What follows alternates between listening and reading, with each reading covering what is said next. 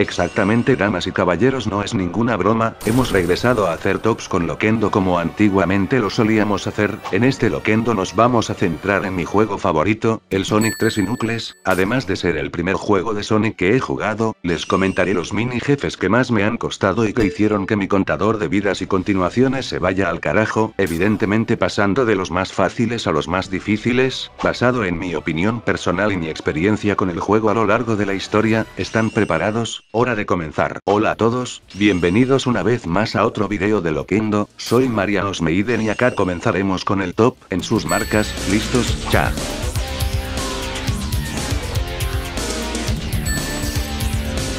Bueno, para comenzar con este loquendo hablaremos del primer mini jefe del juego, el mini jefe de Angel Island, era obvio que iba a aparecer primero, es el primer mini jefe que te enfrentas y evidentemente es un mini jefe fácil para que te vayas familiarizando con el juego, incluso con la versión de Nucles lo considero un mini jefe fácil a pesar de que están estos proyectiles que caen del cielo, un mini jefe con un diseño bastante curioso, pero que como es el primer mini jefe lo colocamos acá por ser uno de los más fáciles, lo único que te puede tomar por sorpresa sorpresa de este mini jefe es la llamarada loca que a veces larga, pero lo demás es pan comido, mucho peor si tenés el escudo de fuego, ahí automáticamente el mini jefe pasa de ser fácil a ser una pelotudez absoluta. Chan cha cha cha cha cha cha chan chan, adivinen ahora quién se viene, exactamente el mini jefe de Flying Battery, la batería voladora para los amigos, un mini jefe cuya dificultad no es tan elevada, debido a que, bueno dejémonos de joder, es una cápsula que se pega a sí misma, una vez que descubrís cómo vencerlo se vuelve una boludez absoluta, la razón de por qué está en este puesto, es porque me morí un par de veces hasta descubrir cómo vencerlo, pero que no supuso un super peligro si lo comparamos con otros mini jefes, simplemente si sabes cómo moverte cuando empieza a titilar sus ojos, será un mini jefe que lo podrás destruir al toque. Con respecto a la versión de Nucles no tengo mucho para decir, a pesar del cambio de personaje el mini jefe sigue siendo igual de pelotudo.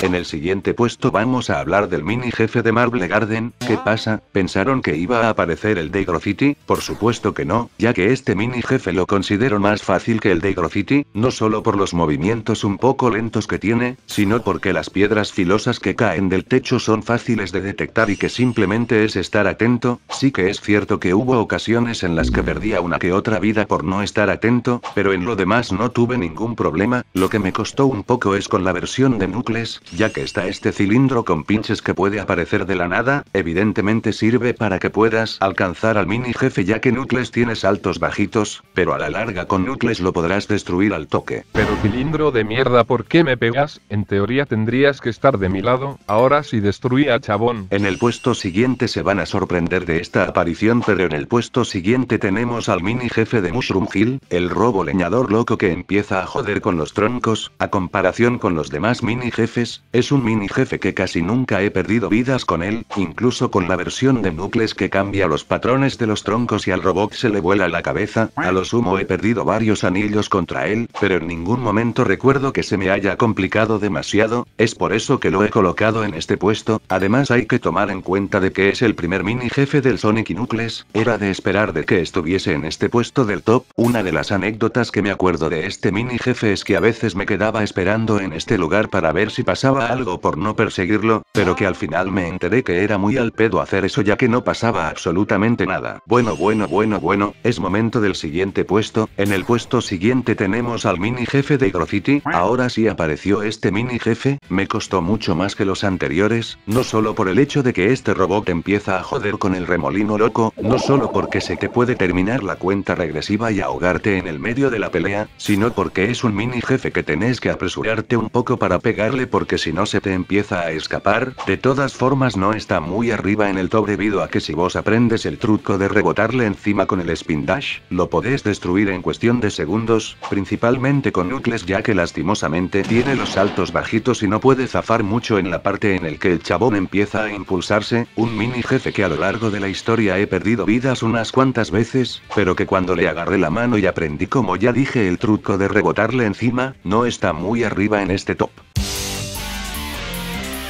El mini jefe de Ice Cap, este es el mini jefe que ocupa este puesto, un mini jefe con una dificultad media, a pesar de que nunca me gustaron los jefes que se ponen a hacer malabares con pelotudeces, a vos te estoy viendo jefe de Sonic 2, y que te pueden llegar a joder las piedras de hielo, y que he perdido alguna que otra vida con él, a este jefe se le puede ganar si tenés paciencia, precisión y aprovechar el momento para pegarle, bueno excepto si manejas a núcleos, ahí los saltos bajitos te pueden cagar un poco, por lo tanto acá lo único que se necesita es puntería. Pero la puta que lo parió loco, ¿acaso mis saltos bajitos siempre tienen que joder? Ahora prepárense porque vamos a entrar a un terreno peligroso, ahora se vienen los últimos cinco que son desde los más o menos difíciles a muy difíciles. Para comenzar vamos con el puesto número 5, chan cha cha cha cha chan chan, en el puesto número 5 tenemos al mini jefe de la Unch Base, arrancamos fuerte colocando al mini jefe del último nivel de la primera parte de Sonic 3, de todas maneras es sorprendente que este mini jefe esté en esta parte del top,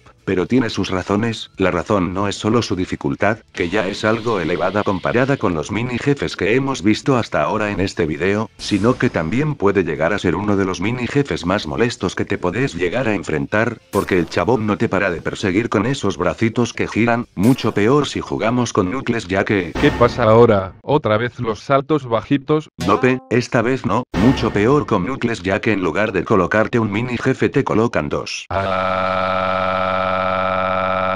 Suscríbete. A pesar de que he perdido unas cuantas vidas contra él, es uno de los jefes más curiosos que conozco en el juego, debido a que es uno de los pocos jefes del juego que se desarma cuando le vas pegando, pero en cuanto a dificultad, se le puede ganar si tenés una buena puntería y tomas distancia cuando los bracitos empiecen a girar, sin embargo hay que tener cuidado con el timing, en el puesto número 4 está un mini jefe que no se destaca por haber perdido muchas vidas contra él, pero sí que fue un jefe que me tardé muchísimo en saber cómo derrotar, haciendo que estuviese más de media hora peleando contra él, imagínense la cápsula que he mencionado antes pero multiplicado por 50, y es nada menos que el famoso gigante de piedra de Sandópolis, o como dice Nucles, ¿Pero qué carajo es eso? Parece una mierda con ojitos. ¿A quién le decís mierda con ojitos? Por supuesto, a la larga terminé sabiendo cómo derrotarlo, y fue tirándolo al río de arena que tenemos justamente al lado, era chiquito gente no me vean con esa cara, a día de hoy por supuesto lo puedo eliminar muy fácilmente, pero sí que es cierto que es un mini jefe que me ha costado encontrar la manera de derrotarlo, además que es de los pocos mini jefes que no lo podés destruir a base de golpes, el chabón se levanta a cada rato, si no estuviese ese río de arena estaríamos básicamente jodidos, pero como es un mini jefe que con el simple hecho de saber cómo destruirlo, y que después podés hasta incluso campear en el río de arena para que él se destruya solo, no está muy arriba como para ganarse alguna de las tres medallas que estoy por comentar.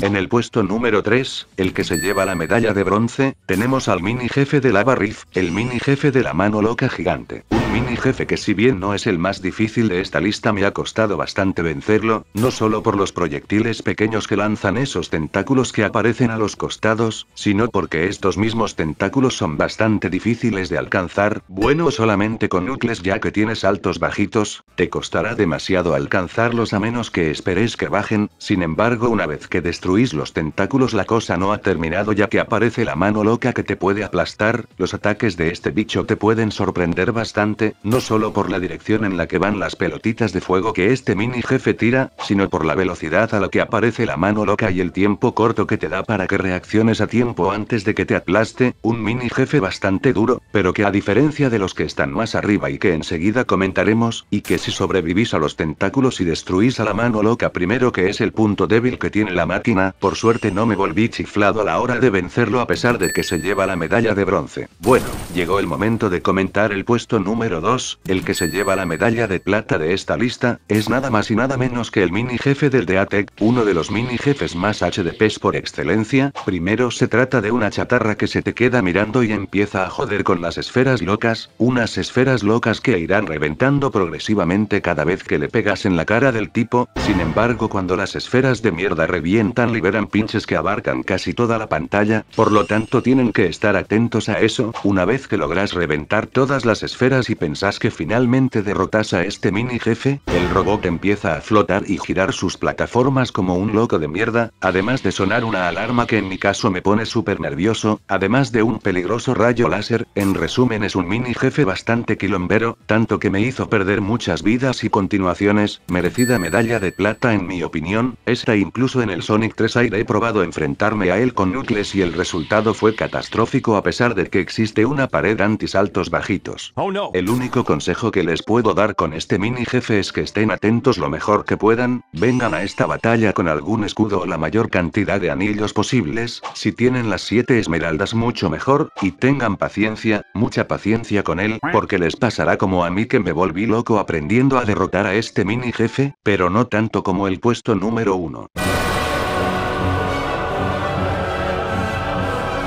Bueno, damas y caballeros, se viene la medalla de oro, ¿quién será el mini jefe que más me ha costado en toda la historia de Sonic 3 y Knuckles? ¿Quién fue el mini jefe que tuvo el honor de hacer que Smeiden pierda la cabeza más de una vez? Bueno, a quien engaño de seguro algunos ya lo adivinaron por descarte. Chan cha cha cha cha chan chan, es nada más y nada menos que el mini jefe de Carnival Night, o como le decimos en este canal, el descorcha botellas. Un momento, ¿me estás jodiendo? ¿De verdad este flaco es el que más te costó? Exactamente, el mini jefe de Carnival Night, este fue el chabón que más me ha costado en toda la historia del Sonic 3 y Knuckles, realmente curioso que el mini jefe de apenas el cuarto nivel aparezca acá, pero tiene sus razones, es cierto que a día de hoy lo puedo destruir con mucha facilidad debido a los años de práctica, al igual que todos los mini jefes comentados en este top, sin embargo este es el mini jefe que más he sufrido, un mini jefe que no lo podés destruir a base de golpes, un mini jefe que a medida que pasa el tiempo el piso se va yendo al carajo, un mini jefe que es de un material más resistente que la puta madre, tan resistente que hasta incluso un hipersonic es incapaz de hacerle algo si lo cagas a trompadas, la única forma de derrotarlo es hacer que se golpee a sí mismo con su trompo volador, pero claro, este trompo volador empieza a rebotar por todas partes, por lo tanto tenés que esperar a que ese trompo golpee al robot, y si no tenés cuidado con ese trompo volador hasta te podés pegar con él y perder tus anillos en el proceso, en resumen, un mini jefe que es un tremendo quilombo y que se lleva la medalla de oro, una tremenda locura boludo, el mini jefe que más me ha vuelto loco y me costó en toda la historia del Sonic 3 y Knuckles. Bueno damas y caballeros, estos fueron todos los mini jefes que más me han costado a lo largo de la historia de todo Sonic 3 y Knuckles, cabe aclarar de que a día de hoy con toda la experiencia acumulada son mini jefes que como vieron en todos los loquendos los puedo bajar de un chasquido, sobre todo a base de práctica y usando también el escudo instantáneo, habilidad que les resultará muy útil en casi todo Sonic 3 y Knuckles, pero esta fue la lista de los que más me costaron en mi opinión, desde los que más considero fáciles hasta los que más considero difíciles, si ven que no he mencionado algún jefe, es porque no lo considero un mini jefe, sino un jefe del juego, como por ejemplo Knuckles y Mecha Sonic, es más, hasta podría hacer un top de los jefes más fáciles y difíciles, suscríbanse a este canal si todavía no lo están, y coméntenme en la caja de comentarios qué mini jefe les ha costado más en Sonic 3 y Knuckles y cuál de ellos es su favorito, ya que, por otro